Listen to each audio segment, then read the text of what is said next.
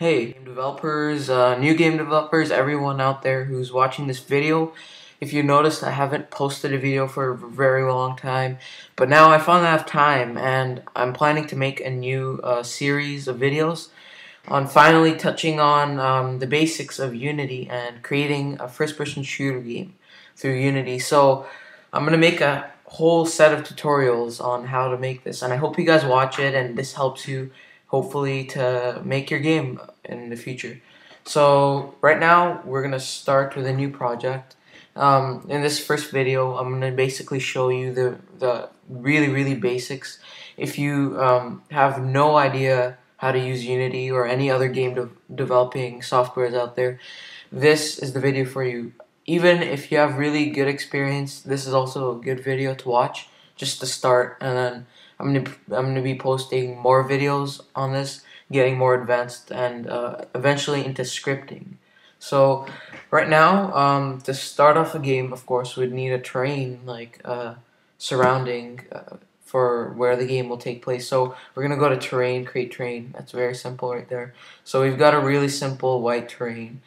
Kind of boring. We don't want it like that. So First thing we want to do is import a game asset folder. So you go to assets, import package. Now this is really important. So whenever there's a lot of packages that are good um, to add into your game, you just go to assets, import new package. This is really useful tool. So first we're gonna um, import character controller, which is basically the first person controller. Without this, we can't go anywhere. So um, we're importing character controller and we're gonna just go import for now we're just gonna import terrain assets this will enhance the way our terrain will look. Now um, one of the editor uh, extensions you can get is the terrain toolkit which I have.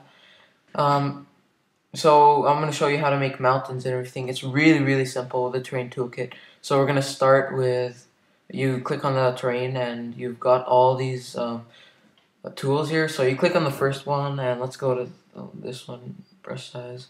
Let's go 100. Yeah, that's better. Okay, so let's move around. So let's say we want to make a mountain here. We take, uh, we go into the terrain and click on that.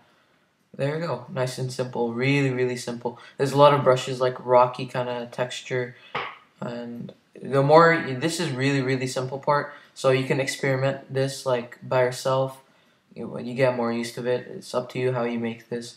I'm just going to make a really, really simple mountain here. Okay, so there we go. Let's make a little mountains here.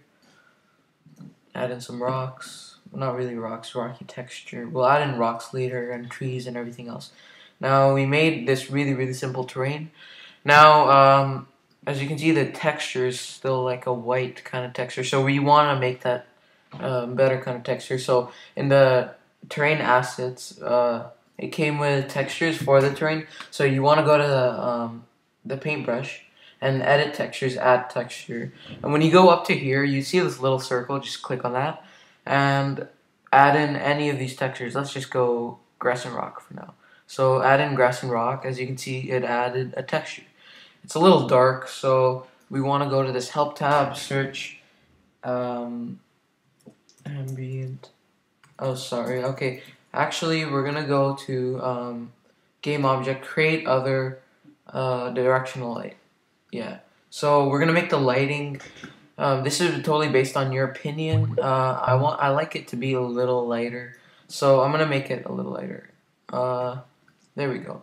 So as you can see, it's it's got a little texture here for now. We're gonna add uh, I'm going to go ahead and add another texture to make it more complex. Uh, yeah, let's add it to a grass texture. So once you've got that, you can experiment that by yourself. So you add in little spots of grass. So uh, for now, that's good. Um, what are we going to do now? So now, basically, uh, we're gonna create the con character controller. Before we do that, and not create the character controller, we're gonna basically create like the environment of and what the objective is in the game. Um, but right now, uh, let's just add in some trees. I'll show you trees and grass. I'll show you how to do that. So you'd want to go to the trees to add in trees. It's just the tree symbol. Add a texture. Add add tree just like you add in a texture. Um, so you click on this little circle again, and it comes with palm trees, the terrain assets. You can get other trees as well, but for now we have palm trees. So let's add in some trees here. There we go. Wow. So we're making a jungle here. Uh, so we've got a lot of trees. You don't you don't have to bunch them all, but you can go brush size to one. So add in a single tree at a time. You can do that as well. Uh, if you want like a tree here, tree here, tree here. So for now, that's good. That's a huge jungle there. Um, now we're gonna add in grass. So you go to this flower, kind of it's kind of straightforward. So just like any other, you uh, add a grass texture. Click on the little circle, and let's add grass. So there we go. We've got grass. Whoa. So you won't see it since it'll kind of clip it from far, but once you zoom zoom in, you will see the grass. So don't worry. Um, right now, it's kind of not visual. It won't show you where the grass is, but once you start playing in that area, it will stop clipping it. So just to tell you guys. So right now we've got this kind of area where the player is going to play. You can experiment with the area yourself, but I think that's enough. So right now we're going to add in a first person controller. So we go to character controllers, first person controller, and just drag it in, drag it in, and double click on the hierarchy, which will just basically zoom it into the player. As you can see, there is the grass that I told you about. Uh, mattering on the scale of the grass, let's just make the player a little bigger. Let's go three.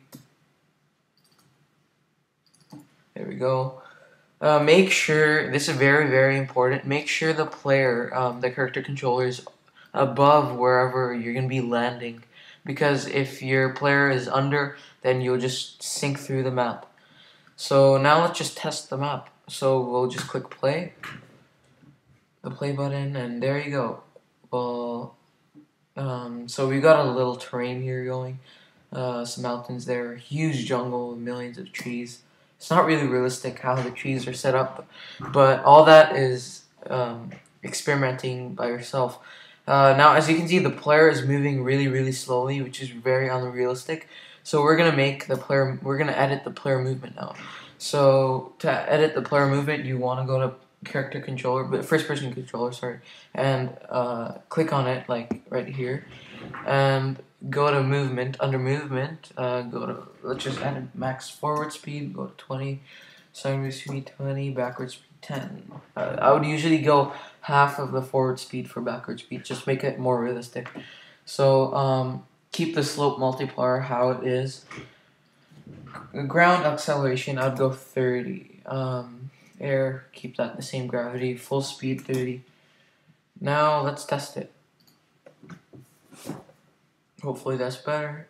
There we go. Uh, that might be a little too fast, but as you can see, um, we just edited the uh, character controller movement speeds. So, um, like any other thing, you can experiment uh, with that, like with yourself. So, um, whatever fits for you for your game. So, um, basically, that was the basics. Uh, this was video one. I will be making a lot more videos. So, um, keep uh, so, so subscribe. So if you're not subscribed, and uh, keep watching and look out for these videos that I'll be making. Um, this is very, very basic. I will be getting into more advanced stuff later on, and I will be using my first-person shooter kit that I made for free.